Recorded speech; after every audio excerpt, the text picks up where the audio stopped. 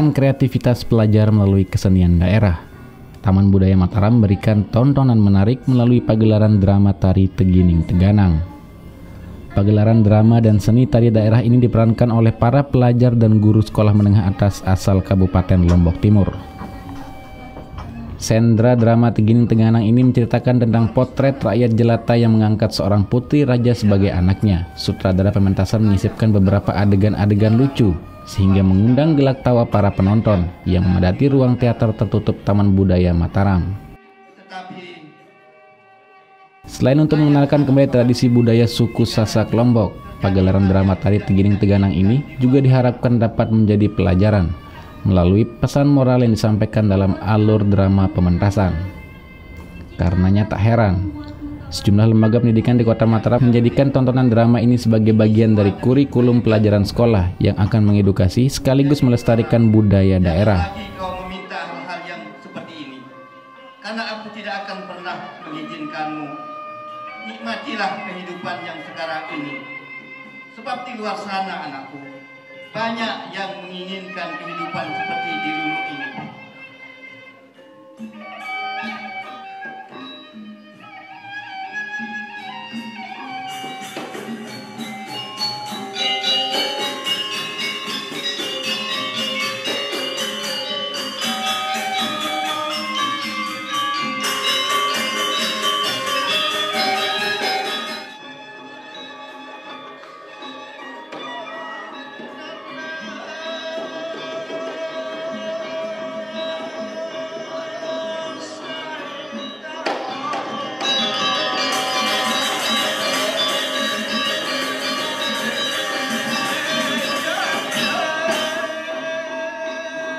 Berani melanggar laranganku, Paman. Aku tak tahu dia sekarang berada di mana. Oleh karena itu, kuperintahkan padamu, Paman, agar mencari seluruh wilayah sampai ketemu Paman. Hamba pun merasakan kesedihan paduka. Oleh karena itu, hamba akan laksanakan.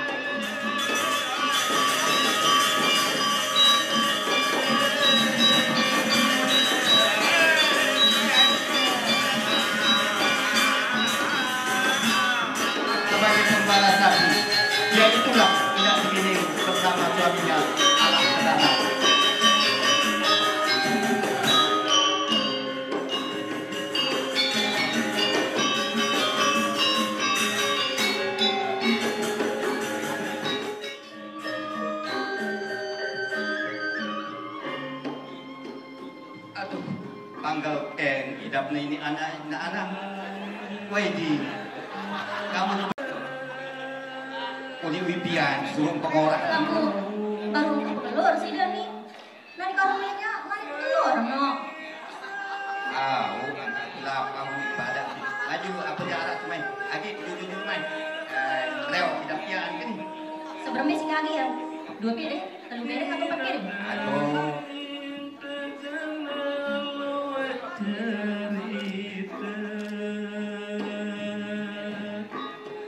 Coba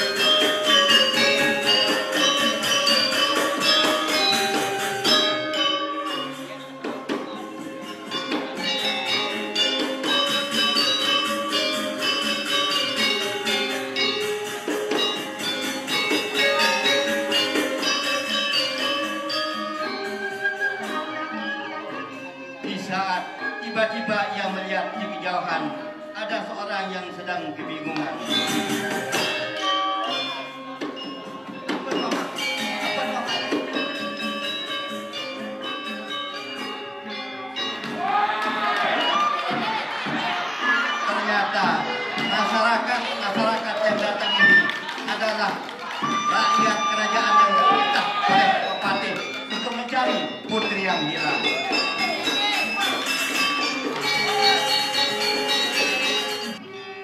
Apa itu? Oh, tahu-tahu putri hilang ini. Wah, anak mau tengah keluar putri, saat dewa ketengah cik mana? Ini kita angan kita ini, kita putri ini seneng ngerti ini maksud kapungi nani namun anak dengan bete. Jauh pen matur di paraja ya tantong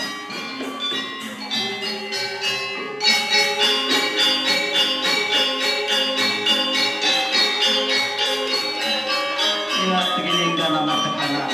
Membawa sang untuk melapor kepada raja tentang penemuan putri raja ini.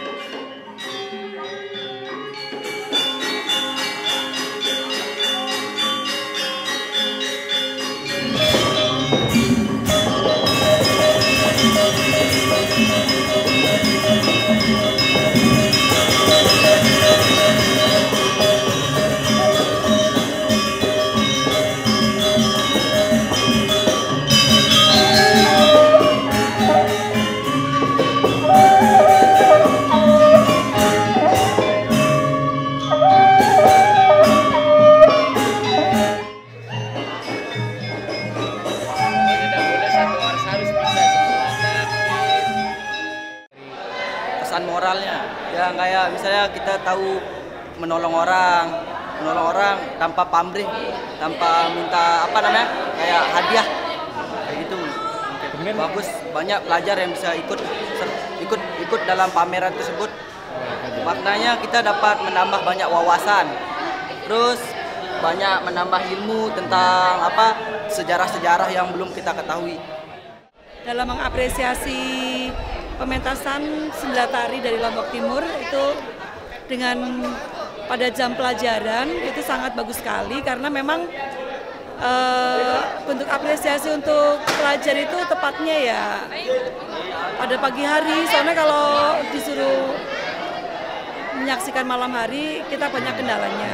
Jadi dalam hal ini kebetulan saja saya selaku guru seni budaya SMA 5 sekaligus ada jam pelajarannya jadi mereka saya bawa ke sini untuk mengapresiasi pementasan ini pada jam pelajaran seni budaya. Ya alhamdulillah sangat bagus sekali ya karena memang eh, yang paling tepat untuk regenerasi memang pada pelajar.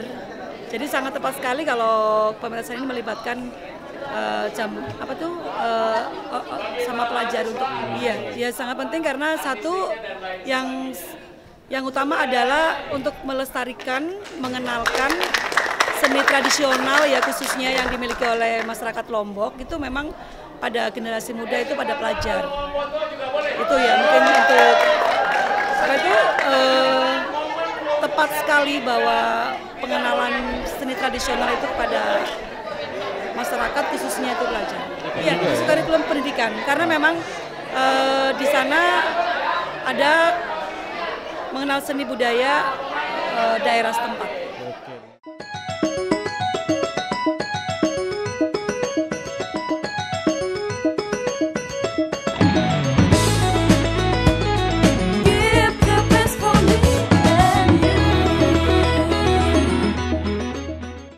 Bismillahirrahmanirrahim. Assalamualaikum warahmatullahi wabarakatuh. Saya Haji Najmul Akhyar Bupati Lombok Utara Bersama seluruh masyarakat saya Mengucapkan selamat atas mengudaranya Get TV TV streaming pertama di NTB Get TV, inspirasi bersama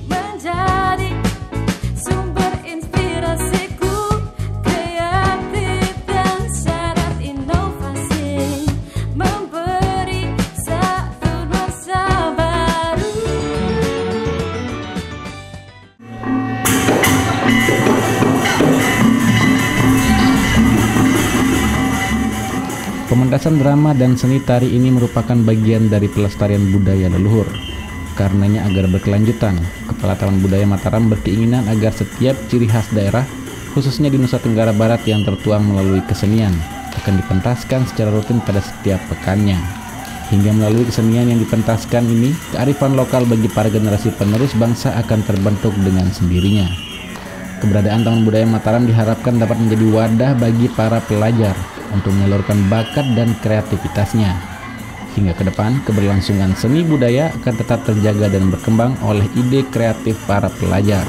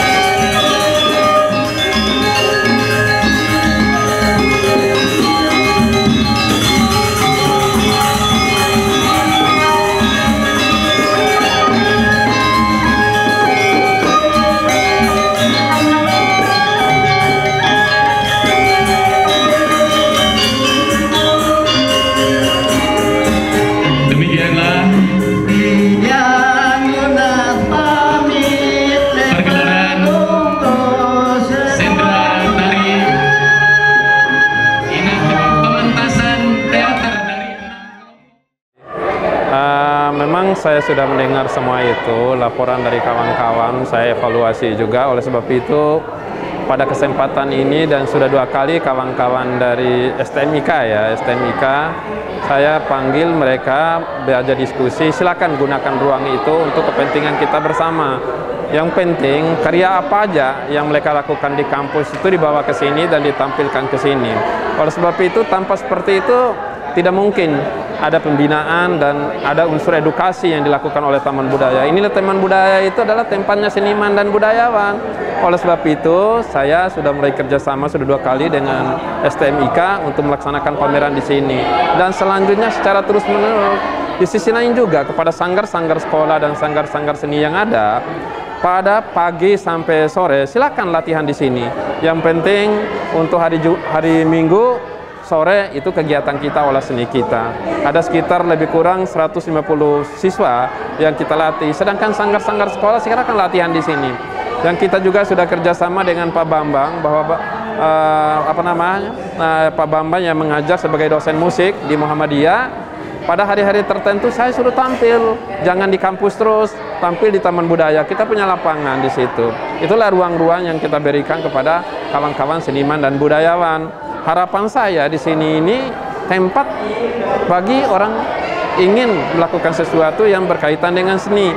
Oleh sebab itu, saya harapkan juga ada juga eh, apa namanya kampus-kampus lain seperti STMIK ini yang melakukan pameran-pameran semacam ini supaya Taman Budaya ini benar-benar menjadi rumahnya seni.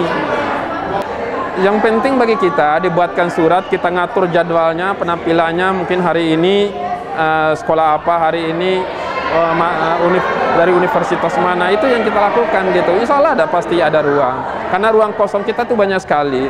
Begitu juga untuk teater, latihan teater mulai pagi sampai sore silakan gitu loh. Tapi kita harus ingat jaga kebersihan, jaga keamanan karena ini, ini ya taman kita semua gitu loh.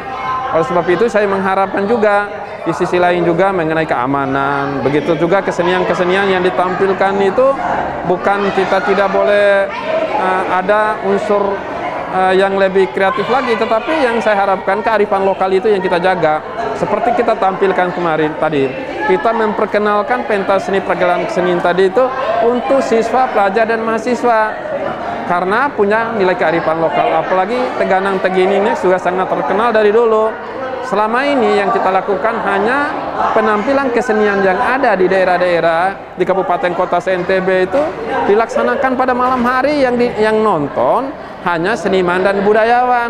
Sedangkan unsur siswa dan pelajar itu kan bisa keluar rumah mereka kan pada unsur pagi hari. Oleh sebab itu Kepala Dinas Pendidikan dan Kebudayaan Pak Saruji saya minta surat untuk masing-masing sekolah menghadirkan eh, anak-anak SMA supaya melihat ini pengenalan pengenalan terhadap nilai-nilai kearifan lokal yang daerah. Di mana Sanggar juga sangat apresiasi, bahkan jauh dari Lombok Timur sana datang ke sini dari tadi pagi, ya sangat respon mereka. Ya mudah-mudahan kita tampilkan yang ada di Lombok Utara, Lombok Tengah, Bima, di mana kita kumpulkan siswa. Oh ini loh kearifan lokal seni budaya daripada Lombok Timur atas nama Sanggar ini menceritakan ini. Itu ada uh, rohnya, ada roh ada yang bisa dinilai oleh siswa sebagai pembelajaran. Sehingga nilai-nilai kearifan lokal yang ada di daerah ini berkelanjutan dan lestari itu harapan kita ke depan. Dan seterusnya mungkin satu tahun ke depan tidak menutup kemungkinan bahwa harapan kita Taman Budaya ini sebagai destinasi pariwisata. Jadi wisatawan bisa orang lihat orang lagi latihan, orang lagi lihat pameran. Itu harapan kita ke depan dalam upaya bagaimana mendorong kemajuan pembangunan di daerah, baik itu seni budaya itu sendiri maupun mendorong pengembangan pariwisata di daerah.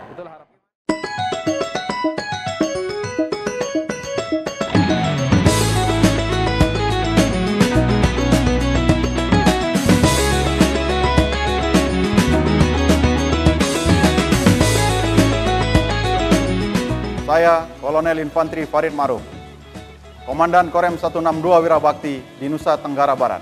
Saya bersama seluruh warga Korem 162 Wirabakti mengucapkan selamat atas hadirnya Get TV, televisi berbasis online pertama di Nusa Tenggara Barat. Semoga Get TV semakin sukses dan inspiratif. Get TV, inspirasi bersama.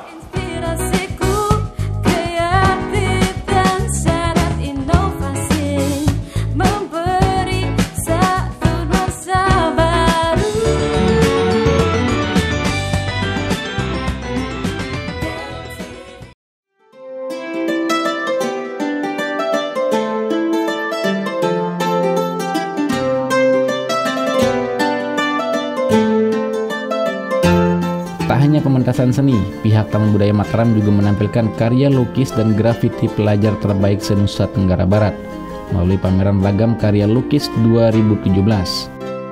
Dalam galeri ini lebih dari 100 karya lukis pelajar baik yang dituangkan melalui kanvas hingga desain grafis para animator dipajang sebagai media pembelajaran.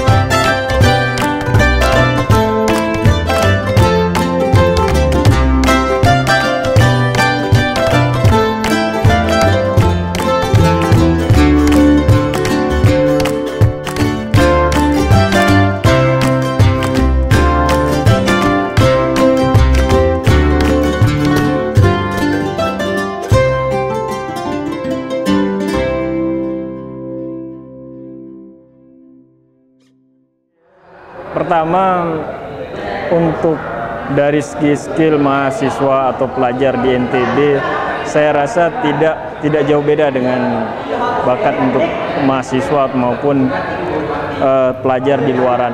Jadi pada dasarnya mereka mempunyai, mempunyai skill yang sangat bagi saya pribadi sangat luar biasa.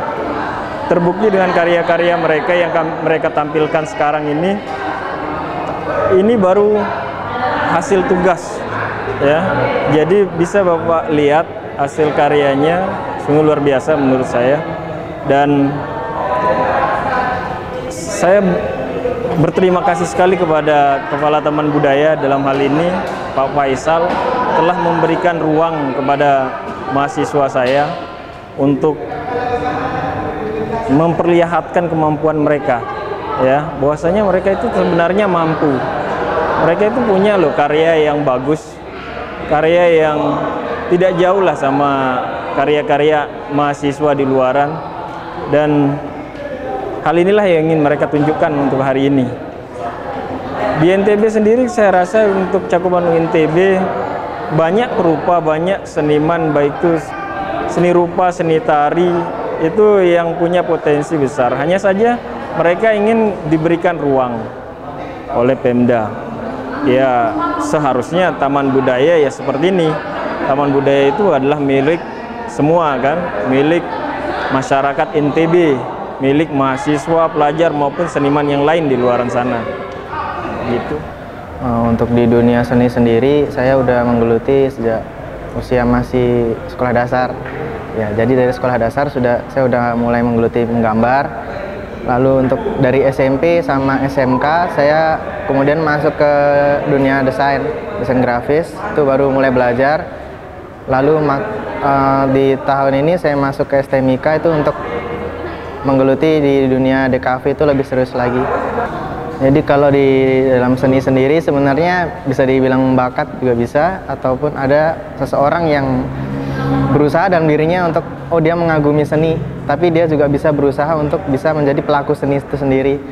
Jadi ada juga namanya seniman atau pekerja seni yang di mana seorang seniman itu menjual dia membuat karyanya sesuai dengan hatinya sendiri dan dia menjualnya atau seorang pekerja seni yang dia menuruti apa keinginan dari klien itu sendiri. Jadi sebenarnya seni itu bisa dilakukan oleh siapa saja, baik pun yang berbakat ataupun yang berusaha. Untuk saat ini sampai sekarang mungkin udah nggak terhitung lagi ya karena mungkin hari per hari minimal mungkin saya buat ya satu karya. Jadi per hari satu karya, per hari satu karya. Itu baik mungkin menggambar atau desain. Ya seperti itu. Sudah pernah ada yang menghasilkan dari karya-karya seni artinya sudah bisa memberikan eh, bernilai uang kayak gitu. Oh, Untuk itu sendiri dari waktu saya mas SMK saya udah mulai di bidang kerja itu sendiri.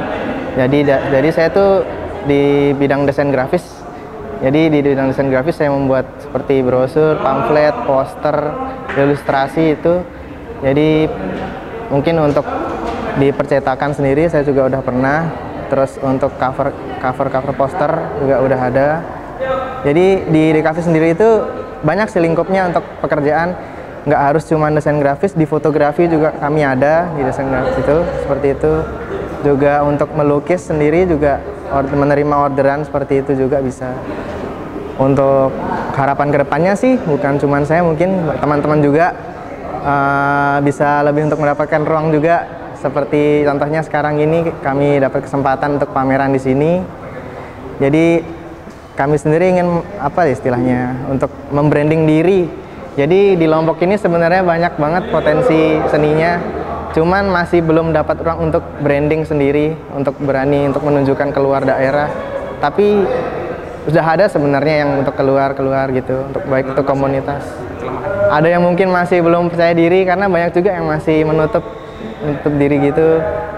Sebenarnya ada sih banyak komunitas di sini yang mengajak untuk "Oh, ayo kita gabung atau mungkin seperti di STMIK ini sendiri nggak cuman di lingkup kuliah aja di kampus saja tapi ayo kita gabung entah itu dari kampus mana kampus mana untuk membuat satu gerakan gitu movement buat oh ternyata di Lombok ini banyak banget seni yang bagus gitu